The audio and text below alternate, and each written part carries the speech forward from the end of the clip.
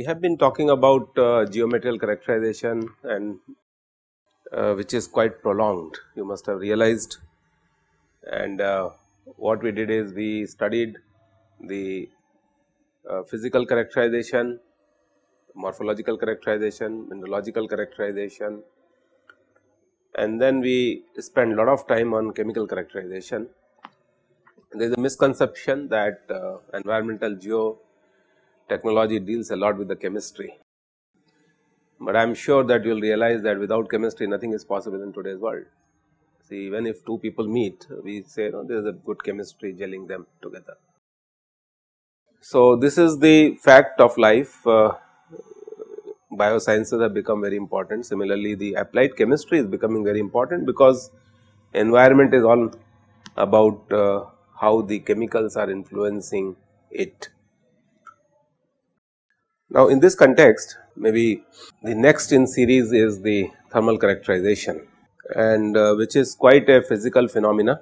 Most of you must have studied the concepts of heat migration through uh, materials we are going to extend this information and knowledge to uh, the heat migration through geomaterials. But before we do that, uh, it is important to understand how to characterize geomaterials based on their thermal properties. In other words, when geomaterials are exposed to thermal gradients or thermal field, uh, how do they respond? So, its importance we will be studying methodologies which are used or employed for thermal characterization of geomaterials.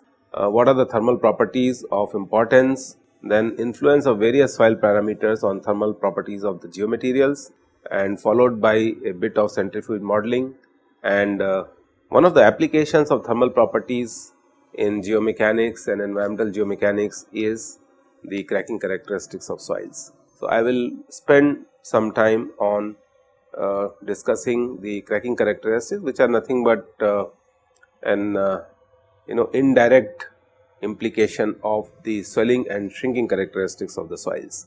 And this is where I will also try to emphasize on the fact that uh, gone are the days when swelling and shrinking characteristics of the soils used to be unwanted properties. Uh, in the contemporary application of geotechnical engineering and environmental geotechnology, if the soils are passive, they are not swelling and shrinking, they are not supposed to be a good material. So, the context has changed completely. And having done this, uh, we will come back to the electrical characterization and magnetic characterization. So, to begin with the thermal characterization of geomaterials, uh, what is the importance and what are the real life situations where you will uh, be using these concepts. Uh, some of these situations are listed over here. So, the first and foremost is the high level radioactive waste disposal which we have discussed quite in details in the initial lectures of the course and um, I have been citing this example uh, since then that uh, the modern day geotechnical engineering is more towards thermo-hydromechanical coupling and uh, hence the thermal effects become very very important when we deal with the geomaterials which are going to contain the toxic waste or the radionuclear waste. High voltage underground power cables, the more and more industrialization is taking place in the country, the more and more need is to electrify the industries as well as the societies as well as the you know uh, housing colonies and so on infrastructure you may say and this is where high voltage underground cables uh, are becoming a part of modern day civilization and apart from power electronics guys the best possible solutions to how to lay the power cables in the soil mass can be given by the geotechnical engineers. There were many projects which I have been dealing, dealing with in the country and abroad where these type of situations were uh, dealt with by us and our research group and then I will show you some of the case studies where how these situations were uh, you know answered. Different types of roads, pipelines, structures in the cold regions, they require uh, the concepts of thermal properties of the soils, particularly in the cold regions where the freezing and thawing is an absolute problem. Uh, people are talking about insulation of uh, the geomaterials so that the structures or the infrastructure which is coming on the top of these type of deposits does not get distressed uh, when freezing and thawing actions take place. The most important of these type of infrastructures would be the, uh, the airstrips in the cold regions and I am sure you must have realized that including India uh, rest of the world is also facing a severe problem of creating airstrips in the regions which are extremely uh, cold where the freezing thawing action is extremely important and very critical for the uh, safety of the infrastructure. Then comes the agri and aquaculture fields and the solar ponds. You will be surprised to know that the design of the solar ponds is based on the thermal properties of geomaterials because the whole idea is to uh, grow the aquaculture or agriculture and unless the proper temperatures are maintained within the ponds you cannot grow shrimps, you cannot grow uh, you know lobsters and whatever.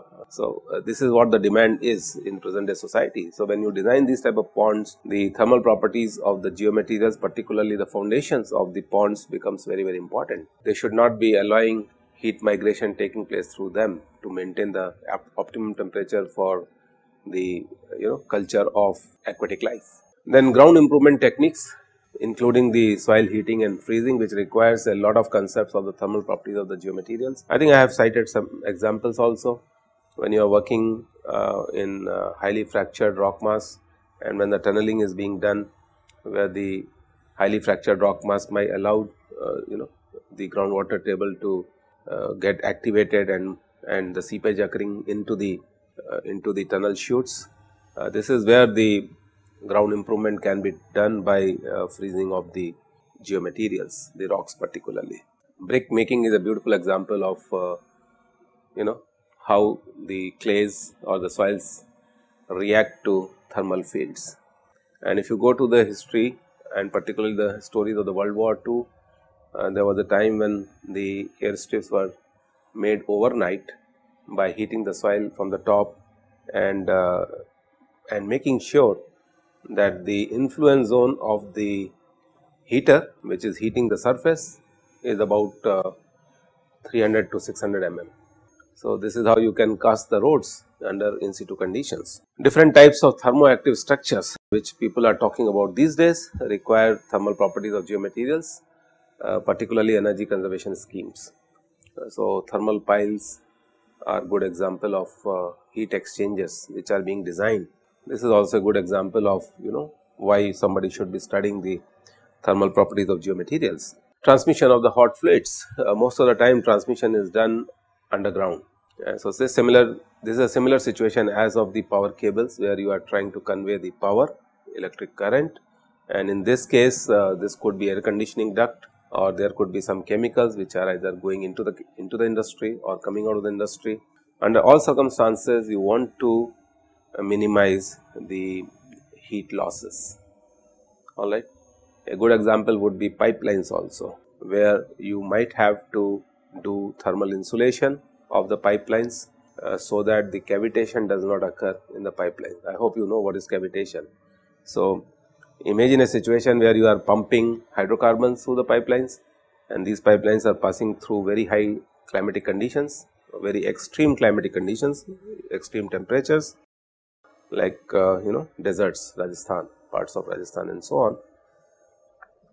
So, the chances are that the hydrocarbon might get you know vaporized because of extremely high temperatures and uh, hence the cavitation may occur and once the cavitation occurs you can't convey the fluids further. So, the subject is becoming very important and very relevant to the uh, contemporary geotechnologists and uh, I hope you know the importance of uh, you know infrastructure which is being done uh, for sustaining the society, the present day society. Another interesting example is the heat loss from the basement of the buildings, mostly cold storages which are uh, designed or which are constructed, you know, to save the cost of the air conditioning. The best thing would be to isolate these type of structures from the environment and hence uh, the basements have to be insulated. This is also valid for the hydrocarbon tanks which are installed in the tank farms very close to the coastal areas where the import export of the crude oil takes place or different type of chemicals occur. So, under those circumstances also you would like to make a foundation system which is thermally insulated. So, I hope it is clear to you that there are a lot of applications of uh, why somebody should be studying the thermal properties of geomaterials. It is a very contemporary subject. Now, there are three properties which uh, I would like to find out or define for the for the geomaterials and these are thermal resistivity, thermal conductivity which are related to each other in the inverse form.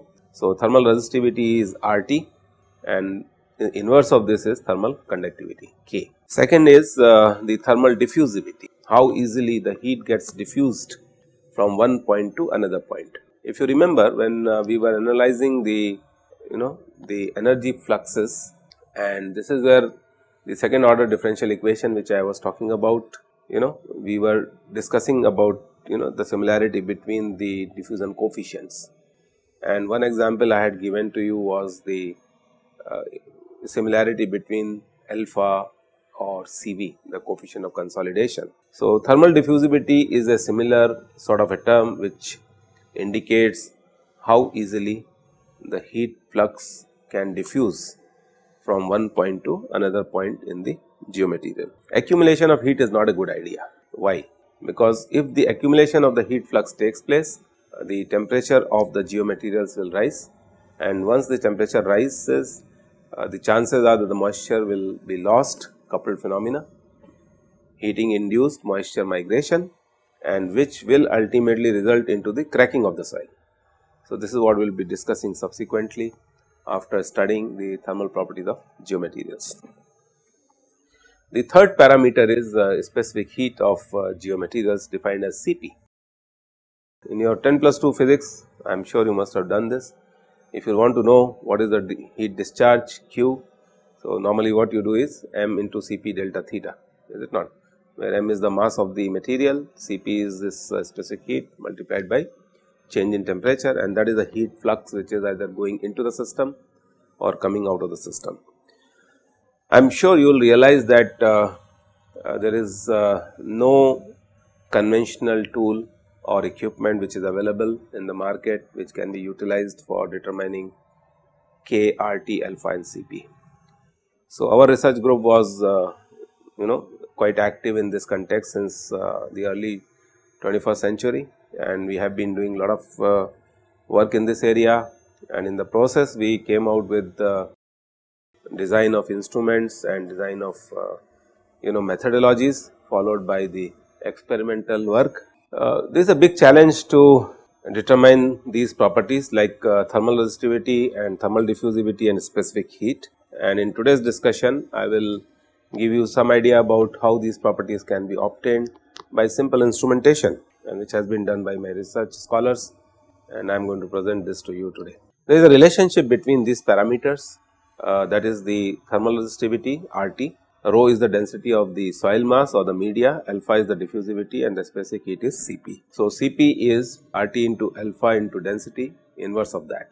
So, if you know two parameters the third one can be obtained because density of the soil media can be obtained very easy. So, if density is known still I have 3 unknowns. So, out of the 3 unknowns I have to obtain at least 2 parameters uh, to obtain the third one. So, normally the practice is that uh, by conducting heat migration experiments uh, we obtain RT directly which can be obtained inverse of RT will be the conductivity which can be obtained and then diffusivity is obtained. If you want to find out specific heat either you obtain this mathematic mathematically or there are some other equipments like if you remember we have talked about differential scanning calorimeter DSC. So, that can be utilized to obtain the specific heat of the material or you can do simple calorimetric experiments which you might have done in your class 10th and 10 plus 2 if you remember you know you take some amount of uh, the material and then heat it in a calorimeter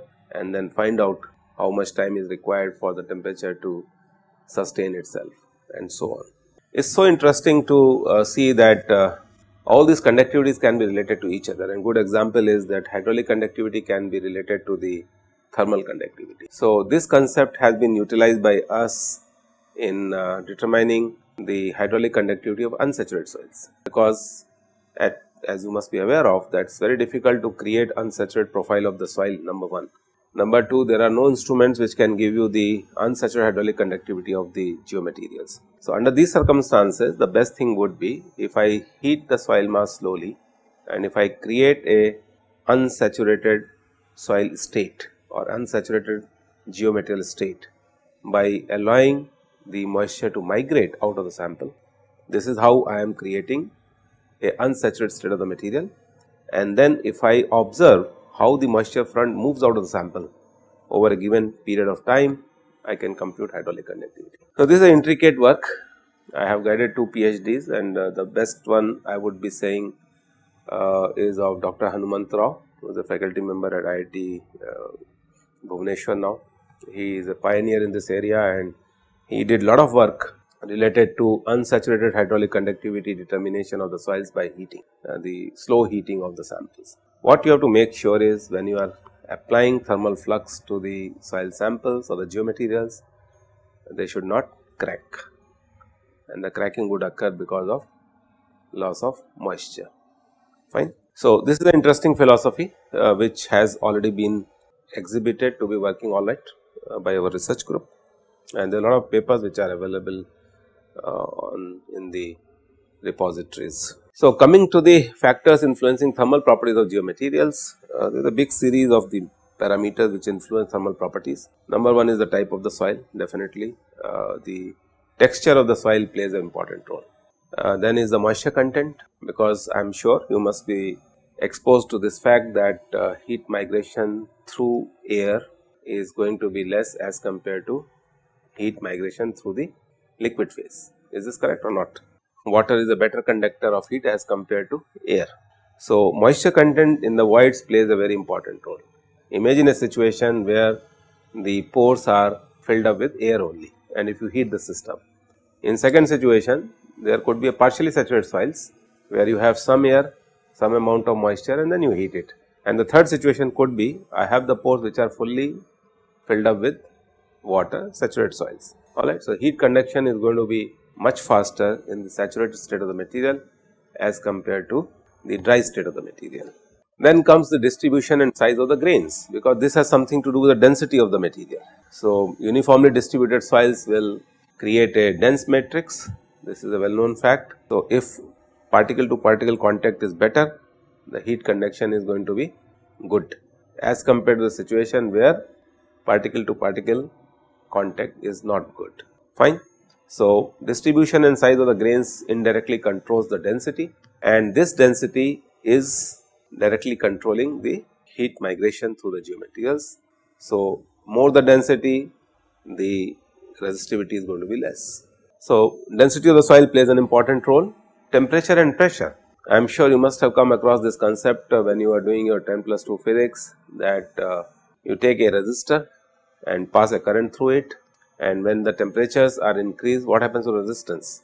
The resistance also increases and that is the reason we are quite bothered about designing the power cables. So, imagine the power cables are buried in the soils and soils exhibit very low thermal conductivity clear or very low thermal diffusivity. So, what is going to happen when you pass the current through the cables the soil mass in the vicinity of the power cable attains very high temperature. And when the soil mass attains very high temperature, what is going to happen to the cable itself?